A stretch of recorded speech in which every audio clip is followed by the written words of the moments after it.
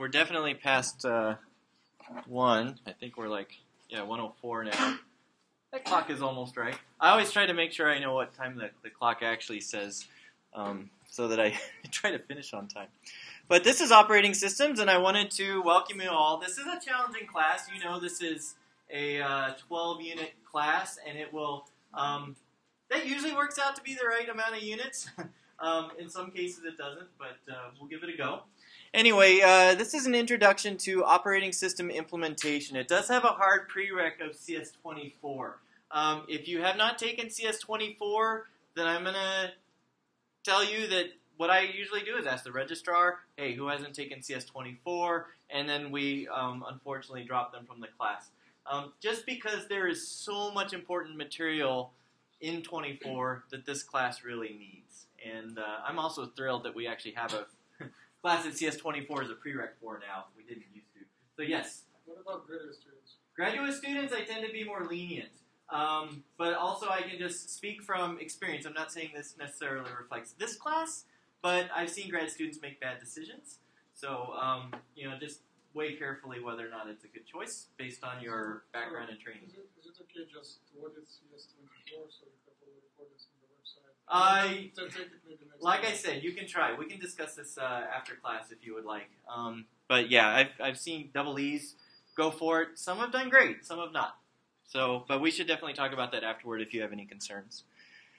Um, project class. I love project classes because, mainly because it means no exams. Uh, I hate exams. I know you all hate exams. But um, basically, all the assignments are programming assignments, starting with the one that will go out by Wednesday.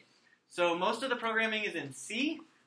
A small amount is in assembly code. I mentioned this in my course preview that I sent out to the CS undergrads. Um, there's a little bit, like in, in the second assignment, I want you to get experience with the bootloading process. So I'll make you write a little tiny bit of a bootloader so that you can see what that's like. Um, typically, it's one person in the team who either loves that or draw, draws the short straw, ends up writing that part. Everything else, if you understand what the processor does, then you're pretty good. You don't have to worry about um, being able to dash out hundreds of lines of assembly code uh, bug free or anything like that. Also, we use Git. Um, hopefully, you all have experience with Git. If not, this is great because a lot of people use Git or other similar version control systems by now, so you'll get a lot of experience with that. Uh, starting in assignment three, you'll do pretty much all of your assignments in this operating system implementation called Pintos. Okay, Pintos was written by uh, some people at Stanford. It was actually a, a project that sprung out of another project called Nachos. so uh, anyway, it's a very simple Unix-like operating system. You, you don't even get a terminal. Basically, the way that you run programs in it is very limited. Most of the time, it'll actually be through the tests, the unit tests, the, the uh, tests that are required to pass for each assignment. So don't get any brilliant ideas like, oh, I'm going to be running Xterm and be able to remote connect to other computers and things like that from Pintos. No, it's really simple.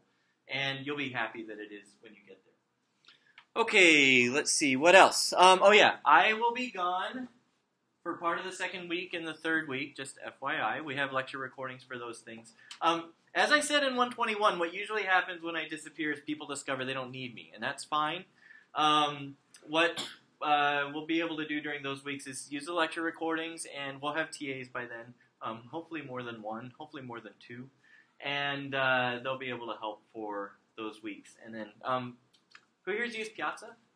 Anybody here use Piazza? Okay, so I usually set up a Piazza for this class because there's always little weird things that one team runs into and another team has already encountered and figured out, and it's really great to get that synergy between teams. Um, obviously, since this is about the sixth time, maybe the fifth time I've taught this class, I've also seen a lot of the things people run into. So I'll be able to help on the piazza and so forth. So we'll we'll uh, cross those bridges. I'm not really worried about it. It always seems to work out. Books, okay, completely optional books. I already told you about this, so I don't feel like I have to talk about it too much. But there's uh, the operating system concepts book. Um, I'll be honest, I hate these books. Uh, any of the general concepts books are basically a branching off point. They'll give you a lot of high level details, and they tend not to cover the real issues that you run into in these systems and implementing them. That's why I think it's so valuable to actually implement them. And then you really see how nasty and how subtle some of these things can be. So, uh, nice, I suppose, but definitely I would not recommend buying it unless you just desperately want to burn your money. Um, then you have Understanding the Linux Kernel, which, as I mentioned, this is a great book, but it covers Linux kernel 2.6, and we're way past that now. So, um, again, if you really would like to learn this stuff, I would either rep, uh, recommend this book or there's another book uh, whose name I can't remember right now. But just ping me if you're you're curious. I'll be happy to look it up for you. I think the guy's last name is Love, and he he uh, it's lower it's lower detail than this book. That's why I like this one more because I like we're Caltech. We should really understand all the details. So, um, but anyway, I think it's also a 2.6 kernel book. We don't have any. The kernel's been moving pretty quickly lately. So anyway, I would get this again if you're really interested. If you were only picking one, I'd pick that one because it's like forty dollars, and the other one's like almost two hundred. So, um, but yeah, everything that you need is really just included in the assignments or in the slides. Okay. Uh, let's see. Yeah, so there's six assignments to complete in the term. Uh, this is the exact sequence of them. So what you'll do starting Wednesday when the assignment goes out is you'll write a simple shell. It seems to be sort of the classic um, project for systems programming. And I think it's a great warm up because it'll remind you about C, it'll remind you about memory management. It may be challenging. I'm going to have you write something that's more challenging than what most people have to write. But hey, it's Caltech, right? So um, you get to learn how piping and redirection works. It's not that complicated once you figure it out. Okay, so um, and you'll also yearn for these days when you get to weeks two and subsequent. So um, second one, you'll write a bootloader. It's actually called a PC booter, computer game that you put in, or you would put in the drive if you had a floppy drive, and uh, boot it up, and the computer starts playing the game. Used to be very common back in the 80s and the 90s, uh, which is why it's close to my heart. So you can do something simple for this. Uh, then these four are the Pintos assignments, and you can see each one of them takes two weeks. Okay, and they will give you a very complete exposure to um, basic operating system implementation details. You'll notice that the last assignment's due during finals week. Sorry, but that's just the way it's going to work out. Um, I don't know that I have much else to say about this. Yeah, I mean, there's there's plenty of time to tell you more things as we get through the term. Okay, and they are weighted. So the first two are worth half what the subsequent assignments are worth. So um, you can see like 10%, 10%, and then 20, 40, 60, 80. There's also opportunity for extra credit. Now, I don't think it's really possible to skip an assignment. Um, there certainly is if you're piffing the class, which I strongly encourage, unless you're doing this for uh, your CS major, and then it makes me sad. I, I would love I would love if all classes were pass fail because I just think people relax and learn a lot more when they're just focused on learning and not uh, on their grades. But um, yeah, so there's opportunities in both of these first two to earn extra points. And then I think there's opportunities in the fifth assignment to earn extra points as well. And I think the sixth. Okay. So there's some options there. Any questions so far? All right, pretty easy. Uh, Clab, so the assignments are hard. Um, I don't want to oversell this because if you tell people things are miserable, they'll feel miserable when you do it. And if you say, oh, they're not too bad, then they'll actually think they're not too bad. But um, they are hard. And um, the main issues I have listed here lots of code to understand, and debugging actually turns out to be rather challenging. I was just thinking earlier today about how many times I heard students come to me and say, I wrestled with this bug for 10 hours and I just threw away my code and rewrote it, and the bug went away, and I don't know what happened, but now it works. I'm like, oh, I don't want that to happen, but it may. So um, just be aware that these kinds of things, systems programming is great. So uh, you are required to work in groups of two to three. Um, you are not allowed to do this course individually. Not that you're not capable of doing it. I've had students do this class individually. Back at the beginning, when we taught it, uh, for the very few, first few times. But what I noticed is that the people who took the class by themselves ran into um, a taller wall when they were trying to figure out bugs because they didn't have people to bounce ideas off of. And that's sort of the number one area where I think there's a huge benefit in working in teams in this class. Plus, it makes life a little bit easier, I suppose. Um, let's see. Yeah, students can drop the class. I already talked about this in my in my preview email. So um, just be aware of this. You can drop the class. It will affect others. Um, I say, or please only take the course if you really intend to finish it. Honestly, I don't care that much.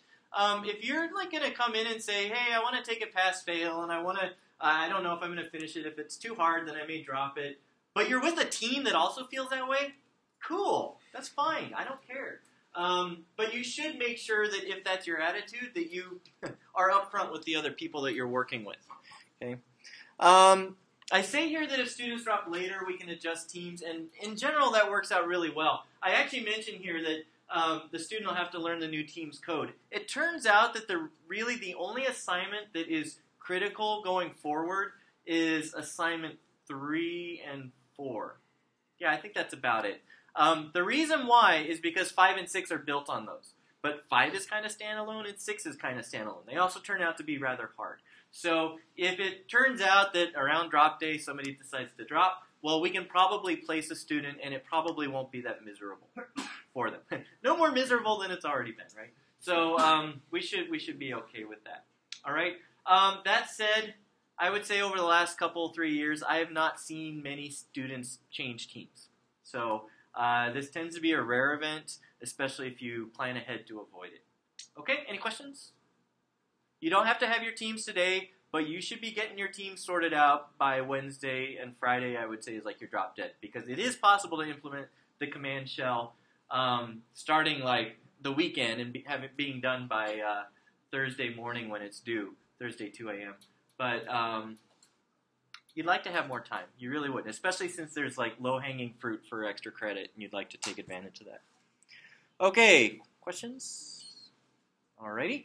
Um, let's see, Git for managing repositories. So yes, I will create a repository on the CS cluster, and I will expose all of the source for the class. I will do it progressively um, so that you don't get distracted by a whole bunch of things that aren't really important right at the beginning. Um, I'll have instructions in the uh, assignment write-ups for how to grab that. At least one teammate has to have a CS cluster account that works to make that happen. Um, so you have two options really. I can either make a repository for your team on the cluster, or you can create one on you know your repository hosting service of choice. So I mentioned GitHub and Bitbucket; those are great options. I think there may be one or two others as well. And basically, the TAs have accounts. These these imaginary TAs that I will have hired um, at some point uh, have accounts on these, and I do as well. So it's pretty easy to share um, your repository access with those things. But I really strongly request that you make it private, just so that um, nobody takes your hard work and cheats off of it or anything like that. Again, does this happen? Well, almost never, but it doesn't happen never. So um, let's just be a little bit careful about it. All right, yes, and then that's just where you push your code. And what happens is you submit a design doc on Moodle, and the design doc will have the commit hash, and then we'll pull the commit hash that you specify. And this is really nice because it allows you to do whatever you want to your repository. You can have nine branches and be working in all those nine branches. Just give us the hash, and we'll pull that one. Okay. Other side note, I haven't said anything about Moodle. That's because they haven't set up our course page yet, because they think I'm teaching this next term. So uh, we'll need to um, get that done as soon as possible. I'll I'll, I'll uh, probably talk about that Wednesday because I imagine that's when uh, the Moodle will have been set up by then. So. Let's see submissions. Yeah, so collab policy same as usual, but now on a per team basis. You can't share implementation code between teams. With one caveat, I should be careful about this. Um, sometimes you run into situations where there's bugs in Pintos's code or in an emulator or things like that. I don't mind if you share that code. But the code that's actually required for the um, assignment, you shouldn't be sharing that. Um, I mentioned that because there's one example where um, QEMU changed its software shutdown mechanism. The Bochs has this weird thing where you send the string shutdown to a particular port, and then Bochs is like, "Oh, I should shut down." It goes, and um, QEMU did that for a long time, and then they're like, this is actually really dumb. And so they stopped supporting it, and then people noticed that QEMU tests were hanging. And so they just run them in Bochs all the time. So um, if you share stuff like that, that's totally cool. I don't mind that a bit. We'll even talk about that on Piazza if it becomes necessary. But um, obviously, um, sharing code for the assignments is, is not allowed. Okay, let's see. What else? Setup and debugging. I can't tell you enough how important this is. I kind of run into this every year that there's one or two teams who, for whatever reason, just doggedly resist going through the debug setup process for Pintos. Okay, obviously not so important for assignment one. Assignment two, you'll be begging for a debugger, and I'll show you how to do it. It's um, pretty important, but um, it's really challenging to, to do systems programming, especially at this level, because you don't really have any tools to help you figure out what's going on. Emulators these days are really cool though. And a lot of the emulators actually support connecting to them with GDB, and then you can watch your OS run instruction by instruction through the emulator. Very powerful. You should definitely take time to set that up and get familiar with it so that when you get to that point, you have that uh, facility to rely on. Um, we would run into a few teams who would resist that, and usually once we forced them to go through that process and actually set up debugging support, their problems started magically becoming very understandable and easy to fix. So I just wanted to, um, I'm, I'm going to rant about that later too, I'm sure, but that's just a big thing. Make sure you go through the process of getting your debugging set up, and then your life will be so much easier.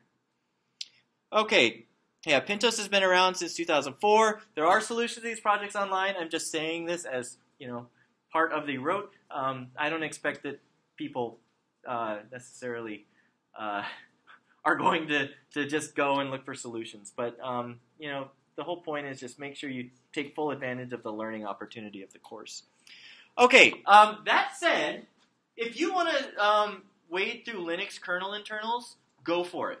If you want to wade through other things like, uh, oh, I can't remember what it's called, LWN dot whatever the, the um, top level domain is, um, there's like, I think it's Linux Weekly News is what that stands for, but they have great articles about how kernels work and, and how various parts of Linux work. If you want to do that, go for it.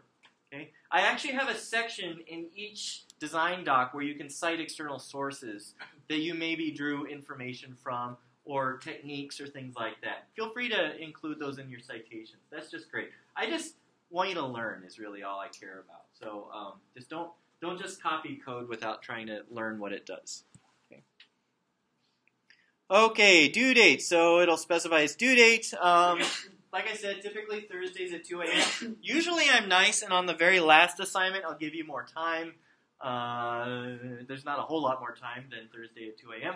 Uh, during finals week, but we'll uh, try to um, figure that out when we get there. Late policy, same as I always do, pretty much.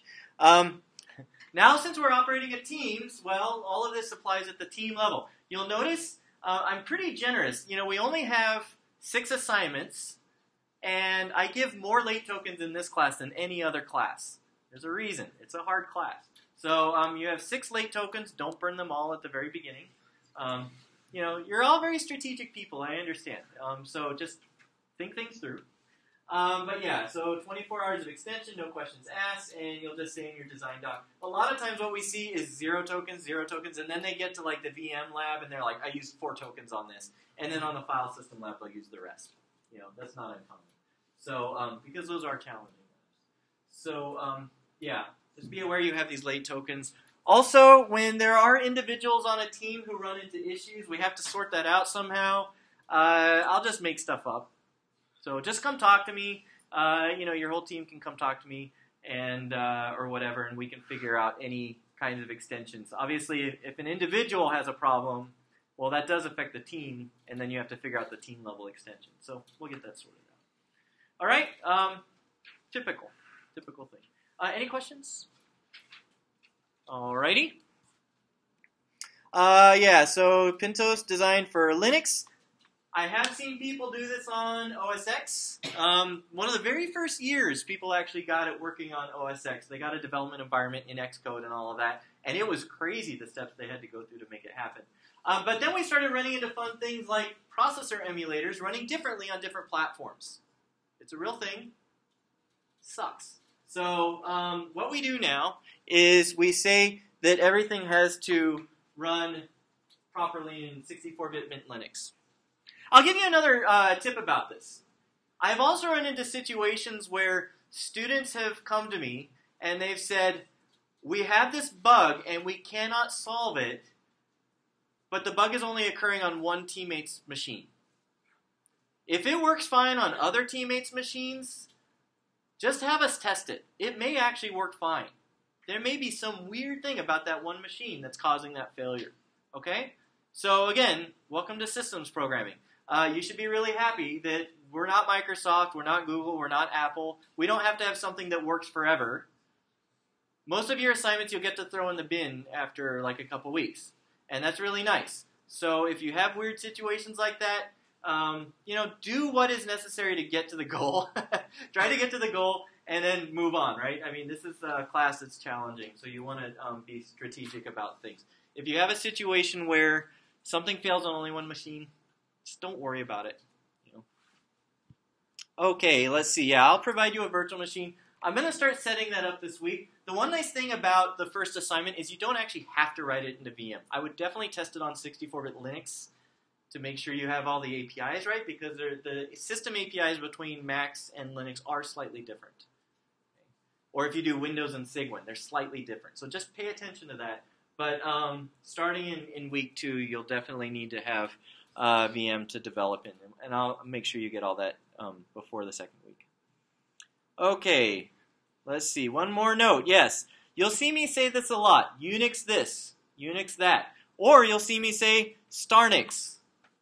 Probably seen that before, right? So, um, really, we just mean all of the many variants. Um, there's there's a uh, I'm not going to go down that that uh, rabbit hole. I won't tell you about that. But um, there's a lot of different versions of Unix, and they all share the same characteristics. Okay, so just be aware that that's what we mean. Also, a lot of these concepts they're everywhere. I try to make sure that in this class we cover everything you might encounter in a real, uh, you know, either commercial or or practical in-use operating system. So um, it's just that we focus on Unix so much because it's so easy to look at how it works and experiment with it. Um, definitely talk about Windows a lot. Windows has some innovative stuff in it, but it's harder to look at the internals of Windows, so we kind of talk about it less. Okay? Any questions? Sweet. Okay, first question. What is an operating system? If I were to ask you, what does it provide? Why would I want an operating system? You can identify a couple of basic things that OSs provide that are kind of unique and special and have to be provided at this level. So, ideas. What what think of something that an operating system provides that's really nice and helpful. Resource management. Resource management. That's a great one. Is that what yours? Yeah, access to files. Access to files. Yeah, we're actually going to talk about that because of how crucially important it is and how difficult it is. People don't really think about it. Yes. Dynamic memory allocation. Dynamic memory management. It does provide that at some very fundamental level. But it's interesting because a lot of memory management actually occurs in user space libraries rather than at the operating system level itself. But there is an aspect of that. Yes? User input is another good example. Okay, so you guys are thinking about facilities and, and capabilities and resource management. But what's another one? Abstracting hardware implementation. Yeah, so that's in the same vein. Yes. managing processes. Yeah, managing. What do we care about processes? Like, what naughty things can happen with processes if they're like, yeah. Race conditions. Race conditions tend to be within processes. So we, um, if they're in between processes, then the OS has bugs. We don't want that. CPU starvation or one. Um, yeah, we could have. So what is that's a, a specific example of something more general. Like concurrency and scheduling. Concurrency and scheduling, yes, is uh, still a specific example of something more general that I'm interested in. Yeah. That one process shouldn't be able to access another process. Yeah, that's all. That's getting uh, more specifically at what I'm looking for. We have issues of security in managing isolation between processes or um, how resources are managed and things like that. So we have abstraction, which many of you mentioned, the various abstractions that we'd like to have, and also how do we manage these shared resources among different. We won't say competing, you know, hope, you know, but they all definitely re- reside in the same space. So we basically have to have some kind of standardized interface, and also how do we manage the way that the shared resources are allocated amongst programs that want to use them. Okay, there's a ton of variations, but those are sort of the, the two basic things that you frequently see. Um, there's a really great analogy that I like in the operating system concepts book, which is that an OS is basically a government for your computer. The government by itself doesn't provide any real useful benefit. If it, if, the, if it was just all by itself, it would provide no useful benefit. But it provides an environment in which useful things can happen. That's what an OS does. The OS is like your, your computer's government. So let's start with the general purpose, and this is where I love uh, the mention of file systems because that's actually the one that I that I start with. Um, storage media. If you just look at your computer right now, you can probably imagine all different kinds of storage media that it's capable of interacting with. Maybe you have a solid state drive. Maybe you have a magnetic hard disk, USB for flash drives, things like that. Maybe you, like me, have one of those uh, little you know, CD-ROM drives you can plug into your computer and, and access things on optical media. You could go on and on, right? So we have, even with hard disks, okay, this is what's crazy to me. Um, but I've been around long enough that I've seen even more interfaces than this. Parallel ATA, very uncommon by now. Uh, most drives are actually serial ATA. They've got those weird, like, L-shaped uh, plugs on them. Then you have SCSI, which again is not so common anymore. I think there's another one called SAN now. I'd have to look. I mean, it's it's. Uh, I should have probably gone and looked that up. Then you have USB disks, okay, and that's just hard disks, right? Because you also have solid state drives, and solid state drives have a couple of different kinds of interfaces as well. One of the things that's annoying is that different size hard disks used to have to be accessed in different ways. It used to be that old the olden day, like, you know, when you were really young and probably just poking at computers, and I was wrestling with them and, and at Caltech and so forth, we would use this addressing mechanism called cylinder head sector addressing. I don't know if you remember in CS24 we discussed the physical structure of these devices, but you have a cylinder which is all the tracks a certain distance from the spindle. Okay? And then you have which head on which platter you actually want to read or write. And then you have the sector, and that's the uh, you know position, ang- you know the angle from a certain reference point the, that says when that sector starts and when it ends. So we used to access drives that way. Ran into size limitations very quickly. Not only that, but disks stopped having nice simple layouts. Okay, because people noticed, well, you know, it's if you if you have like this little chunk of the platter, well, I can stuff more data on the outside of it than I can on the inside. So why not have more sectors along the outside than on the inside of the drive? And so this cylinder head sector thing broke down really quickly. And so a new mechanism was introduced called logical block addressing. Very nice. Let's make the drive think about all those stupid geometry issues. And we'll just deal with give me a block number from zero all the way to the end of the device. So block 0, block 1, block 2, and each one would be like a 4K block or a 512 byte block. Logical block addressing is so much simpler. Okay? Different kinds of devices require different maintenance. Again, maybe you haven't had to deal with this very much. I sure hope that that's the case. But it used to be on Windows, back in the day, first thing that you would always do when you were trying to figure out why your computer is so slow is you would defrag the hard disk. And the whole issue there is that seek uh, seeks on a magnetic drive are expensive. It's the slowest thing a disk can do. And so you want large files to be stored in contiguous regions so that you can read them quickly. Okay? So you have to think about in your file system design, how do I lay out files? Do I need to do periodic maintenance? Thankfully, Linux OSs, or I should say Linux file systems, tend not to require periodic maintenance. Windows did, and so people would run the defragment, uh, defragmentation program rather frequently. Solid state drives changed all of that. Seeks are now constant time, regardless of where you're going on the drive. Okay? They don't care about fragmentation, but they do care about other things. Anybody know what they care about? Weird things like wear leveling. Maybe you've heard of wear leveling. Trim, junk like that. This slow degradation of write performance that can occur. Ugh, we'll talk about all that stuff. It all fundamentally comes down to the fact that these memory blocks can only be written to when they're empty. If they already have data, they can't be written to. They have to be erased. Further complicating this is that the erase blocks are much larger than the write blocks. It's like 512 bytes versus 2 megabytes, something like that.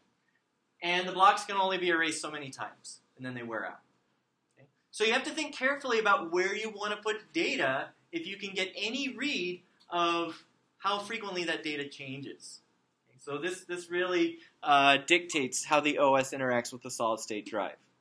Okay? Then you have file system formats. Right? ext2, 3, 4. I just set up a, uh, a NAS at home so that we could get all the photos and all the media off of our laptops because they're running out of space. And that NAS was like when I was setting it up, that's network attached storage, by the way, just a box full of a bunch of disk drives. And uh, it's like, do you want to install Btrfs? I'm like, sure. So there's a whole bunch of new file systems that are uh, coming along as well.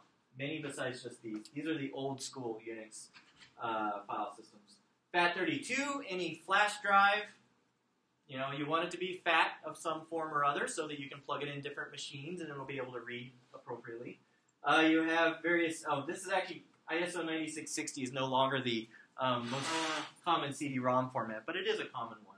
And then, of course, you have NTFS, which my Mac can read, um, so I can interact with Windows drives, HPFS for um, Macs, and so forth. Okay. So you see the list goes on and on. Would you want to write a program that has to think about all these details? No, your life would be miserable. You would quickly quit programming and go become like a Broadway dancer or who knows what. I mean, you would just say, this is terrible. Unix makes this simple open, close, read, write, lseek. These kinds of operations are basically how you interact with all these disparate types of devices and files that are stored on these disparate devices. So the OS is providing this abstraction for you to use. And all of them are provided in this one abstract file system called the virtual file system. It starts with slash, and then various things can be mounted at various points. So you can have multiple drives, you can have different kinds of devices, and so forth. And they're all accessed through this very simple mechanism. Okay? Super easy. We'll talk a lot about this over the next uh, couple of lectures. The thing that's really cool about this, I think it's just awesome, is that other devices use the same interface. You want to talk over a socket, you want to write a web server. Well, you use read and write. Okay? You use close when you want to close a socket. The only real difference is you don't use open to open a socket, you use socket or accept. There's a few other operations as well. Um, pipes between processes, you'll get to experiment with that in the first assignment. You say pipe, and you get out two files basically. You write to one, and the data magically shows up on the other end. You write the other way, and it shows up on the other end. So, very simple. So, you can see how the OS provides this abstraction. Okay, next question resource sharing. Again, the file system provides a great example of this. Here's a scenario. Process A opens a file. We don't really care what it is, so we call it foo. Later, process B comes along and deletes foo while A is still using it. What happens? Okay, so here's the thing. There's a lot of answers to this question. Windows has an answer. Unix has an answer. You could write your own OS that has an answer. Um, but the bottom line is the OS has to make a decision about how these kinds of situations are supported so that programs know what they're dealing with. So this is an example of how the OS needs to govern resource sharing in some way. Okay? So the OS has to coordinate access between these shared resources. Okay? So, um, just to give you an example, what Windows does. Process B comes along and tries to delete foo.txt while A is still using it. Does anybody know what Windows generally does? Uh, throws an exception, tells you that the file is currently Yeah, it doesn't throw an exception per se, but it will return an error status from the system call saying, sorry, somebody else is using that file. It's locked right now. So the delete fails. Does anybody know what Unix does? Do you have a guess? This is a very interesting uh, behavior. Yeah, your, your answer is almost correct. Um, you're very close to the right answer. Um, basically, the way that Unix handles this is that it differentiates between the directory entry for a file and the file's data on disk. Okay? So you have foo.txt, somewhere in the directory structure it says foo.txt points to this data. And then you have the data itself. When you delete the file, Unix removes the path. So now it's no longer in the directory hierarchy. But the data is still on the disk. So process A can keep manipulating. Then when process A closes, the OS says, oh, nobody's accessing this data anymore, and it reclaims it. So more complex model, possibly riskier. Windows is, simpler. So again, it's a great illustration of how there are multiple answers to this question. It's not that one is right or one is wrong um, in this particular case, but the OS must specify how these situations are handled. Okay, questions? What happens if like something happens, something bad happens to the kernel, uh, like between when B deletes the file and before A in? Okay, so this is a very good question. What happens if the OS, let's say, explodes in some way between B deleting the directory entry and A finishing? So now you have the data living by itself. Well, now the file system is in a corrupted state unless the OS takes steps to make sure that doesn't happen. And you will have to wait for the exciting discussion in the file system lectures. Uh, there are mechanisms by which operating systems avoid corruption in these issues, in these in these situations. They they involve something called journaling. Okay. Any other questions? Alrighty, let's keep moving on. This is just a great illustration, but what we're going to do for the rest of this lecture is at least, yeah, for the next 15 minutes, I will try to describe to you how we got to where we are now from where we started. So this is a brief history of operating systems. Remember that early computers started out very large, very limited capability, and very expensive. so we're actually jumping into the story a little bit further on than just the very first computers. But a lot of times you would have large companies or very well off universities having one computer, and it was the mainframe. And if you wanted to use the mainframe, you took your program to the mainframe and left it there, and then let's say in six hours you came back and got the results of your program. And you really hoped it wasn't syntax error at line, whatever, because then you have to try again. Very different way of interacting.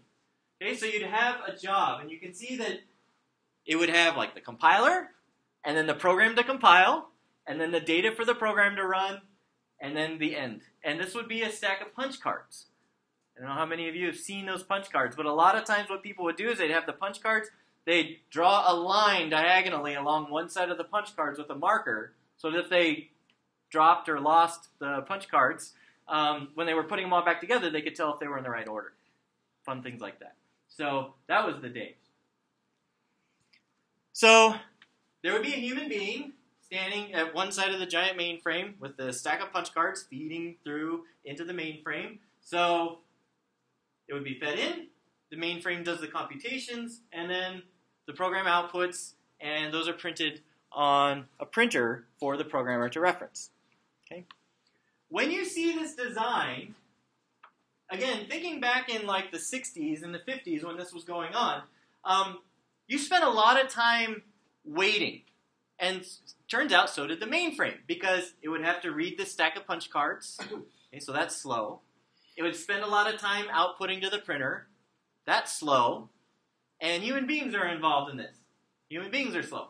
So if you think about mainframes from the standpoint, it's this large, expensive machine, and we're not using it for large chunks of time because it's doing I/O. Well, maybe we can improve this design. Okay. And so, what happened is they started moving toward a batch processing model. You know what would be even better than a mainframe is a mainframe plus a little computer that's not very good but knows how to take these punch card jobs and put them on a tape. Okay? And so what would happen is you'd have all your stacks of punch cards and you write them onto a batch. It was a tape that you could then take the tape and put it on the mainframe. Okay? So the mainframe reads these jobs, executes them in sequence, just like before, and the output is also saved onto a tape. So what have we done? We've made it so our mainframe doesn't have to wait as long. We're using it more now. And so if you think you've got this big expensive machine, I'm using it more now, so my dollars are uh, paying for more computations more efficiently. This is good, right? You could also have tapes for common things like the Fortran compiler, which thankfully we don't need anymore. But uh, you know, you would have common programs. Let's have system tapes so that you don't have to include that in the job anymore. Okay? And so at the end, you would take the output tape and put it again on another computer that could just print the output. So simple, special purpose, not as expensive. All right? So that's cool. We're getting more clever, but there's still kind of an issue here. Because, like I say here, we read each job in sequence and we execute it. Okay? So if you have a job that's waiting on I.O., which started happening more and more because people said, ooh, this is really useful tool. Why don't we give it a lot of data to crunch? Okay, well, now we're reading it into memory. That's taking time. Okay? So the CPU is sitting idle until the I.O. completes. And so basically, people started designing multi-programming into these mainframes.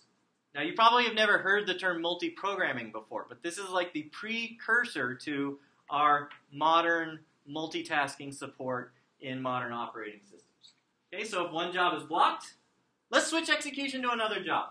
That way we can keep our large, expensive mainframe occupied, and we can again maximize the uh, CPU computations per dollar that we are doing. So again, if the mainframe can keep multiple programs in memory, switch between them, then I can keep the mainframe busy most of the time. Okay, so you can see how all of this is like, wow, we got this big expensive piece of equipment. Let's try to figure out how to use it more efficiently. So now we start partitioning memory into regions for jobs. We have multiple programs. We are now running them. So we have mainframe memory. We're running three jobs right now. We also have an OS, nascent as it may be. Okay, and so we have to figure out how to set this up. What's the new problem we have to solve now? We talk about this a lot in CS24. Again, you may assume where it came from at that point, but now we're talking about it. If I have multiple programs that could be running at the same time in the computer's memory, then that means their data is there. They could interfere with each other. Do you, you have some a comment along that line? Uh, yeah, you have to like figure out how to uh, prevent them from like uh, destroying jobs data. Yeah, destroying data, or even worse, stealing data. Because you know you'd have a university with a mainframe, but they weren't using it all the time, and so you'd have a local company say, you know, could I um, take my sales data and do some number crunching on it? Or a bank, can I take my financial data and do some number crunching on it? Well, then you really want to make sure that the data is protected. So this became a serious issue. So we start having process isolation. Okay? And so this is where we started seeing the need for multiple CPU operating modes. And an OS as a trusted intermediary between these various jobs and the hardware and each other and so forth. Pretty cool stuff. I mean, I have a, a memory module from a Burroughs computer, which was, uh, I think it was a 1965 computer, but they actually um, were some of the first computers that were able to do virtual memory addressing back in the 60s. So that was before me, that was before you. Here's the other thing that started happening. People, like I said, would carry their punch cards and they'd get their nice shiny printout saying, You had a syntax error. This sucks. Or I'm missing five lines of data that you were supposed to provide, but you did. Okay? So um, basically, it could take hours to even discover that there was a bug. Now it's so nice. I mean, in fact, you read uh, things online that talk about software engineering. They talk about trying to close the write, compile, test, debug loop, make it like continuous. You know, you talk about continuous integration, or you talk about uh, continuous development, things like that, and they want to have that on the order of seconds. Well, it used to be hours and hours. Okay? So people said this is lame. So they started developing systems where you could actually share the mainframe between human beings at the same time. So that's called time sharing. And this is where you'd have a really lightweight terminal, and it'd be connected to this big, powerful mainframe. And as I say here, the mainframe is large and expensive. A single person will not keep the mainframe busy all the time, but a lot of people will happily keep the mainframe busy all the time. Okay? And so time sharing systems became uh, more and more common. Now, what you'll notice is it still was not a world where you had a computer in your office, or even your department, or lugging around multiple computers, as most of you do every day. Okay? So, integrated circuits became smaller and smaller and more widespread. And like I say here, instead of an entire university or an entire company having a single mainframe, uh, then they started going to mini computers, where you might have five or ten of them at a company smaller and less powerful. And then, of course, we went to microcomputers so that you even had one's computers for individual users. Okay. Now, what was funny is that all the way up to this point, you basically had nerds taking care of these computers, and you know you'd have the operator sitting there taking your punch cards and putting them onto a tape and so forth. Okay. But now we start having people who don't care to learn about all the details of how the computer works. And so you start saying, oh, a graphical user interface would be very hap- uh, helpful to abstract away all the details of how to operate these machines. Okay, so like I say here, graphical user interface. Again, if you want to um, really be amazed, then I would encourage you to look up the mother of all demos. You can find a recording of this on YouTube. Doug Engelbart, I think is his name.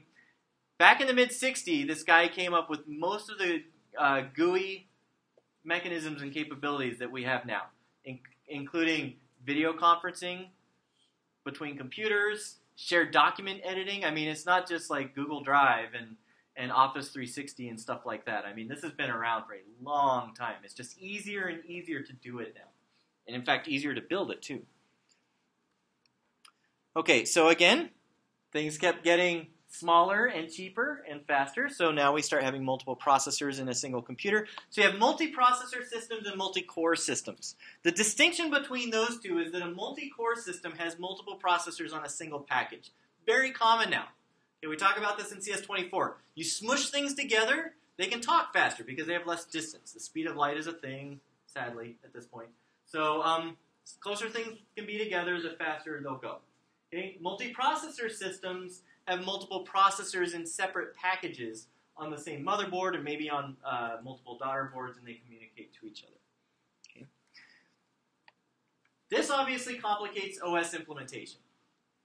Pintos is single processor. You should be so happy. We're actually working on a replacement for Pintos because it's like 12 years old now.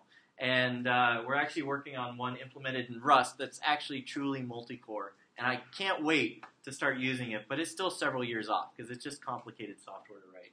But anyway, um, obviously you have a lot of um, new challenges that start to emerge when you have an OS that has to manage shared data structures in a multiprocessor system. We'll talk about some of these in a couple of weeks.